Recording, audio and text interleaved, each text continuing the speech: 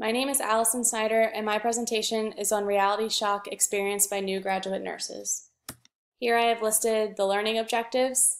At the end of the presentation, the learner will be able to do the following. To be able to explain reality shock and its four phases, to be able to describe how new nurses are affected by reality shock, and to be able to explain how healthcare and society are impacted by reality shock of new graduate nurses. So what is reality shock? According to Wakefield 2018, reality shock is the experience of moving from the comfortable and familiar role of the pre-registration nursing student to the professional registered nurse. This is also often referred to as transition shock. So there are four phases of reality shock. The first phase is the honeymoon phase. This is when new nurses are excited and optimistic about their new career path and are ready to start their journey as a nurse. The second phase is the shock phase.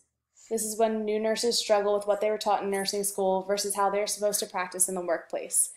During this time, they may feel rejected, become withdrawn, and may also deal with increased fatigue and illness. The third phase is the recovery phase. This is when new nurses learn to cope with issues they may be experiencing in their new role as a nurse, and their level of anxiety is decreased. And the fourth and final phase is the resolution phase.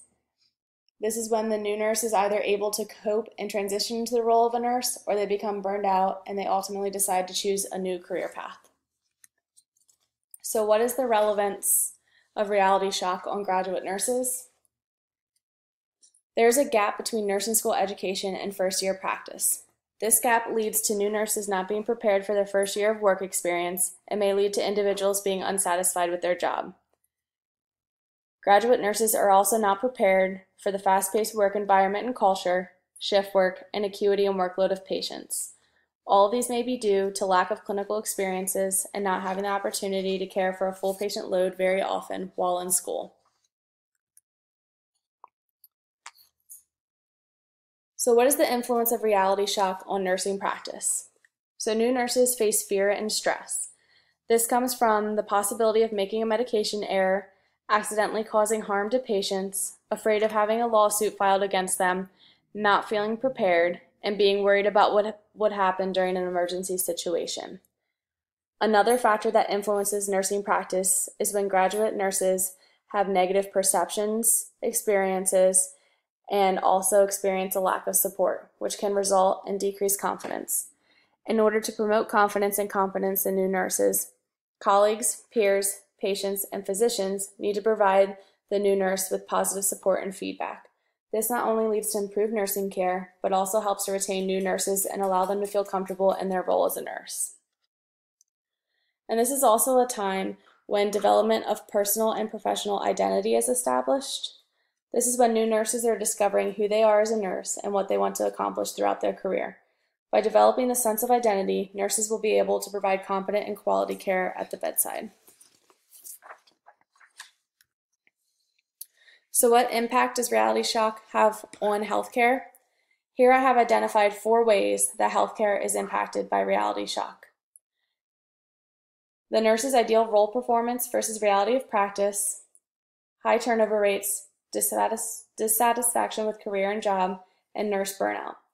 These four items all contribute to nursing shortages and nurse retention rates. If nurses are expecting one role and experience another, they may decide that it's not the job for them and may leave the profession due to job dissatisfaction and pursue another career. This can contribute to nursing shortages due to high turnover rates. Also, when people are constantly leaving the profession, this can put a strain on individuals that are left behind, leading to burnout as they are working under subpar conditions. That is why it is extremely important that new nurses experience a positive orientation that involves positive constructive criticism in order to help them grow and be satisfied in their role as a nurse. So, what impact does reality shock have on society? Our number one concern is patient safety. When nurses may feel extremely competent at the time of graduation and then reality shock sets in during nursing practice, they can feel stressed and inadequate with providing care, which causes concerns regarding patient safety. When nurses do not feel competent and are stressed, errors may occur. These errors can lead to an increased length of stay and cause possible physical and psychological harm and or discomfort to the patient. However, not only can length of hospital stay be increased, but hospital costs are also increased as well. In order to improve patient safety, it is recommended that nursing education begins at the undergraduate level and continues through all postgraduate courses. And lastly, patient safety directly affects patient satisfaction and how likely the patient is to recommend care to a friend, peer, family member, colleague, etc. It is our goal to provide quality patient care that is both safe and patient centered, as well as leave a positive impact and experience on patients, so if they had to come back or recommend us to someone, they would do so.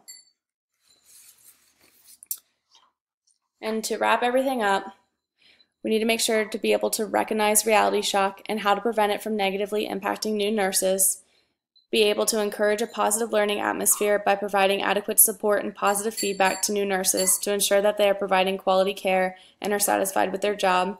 This will also help decrease stress and anxiety, leading to less errors, less burnout, and improved retention rates. And most importantly, we want to continue to improve patient safety and satisfaction.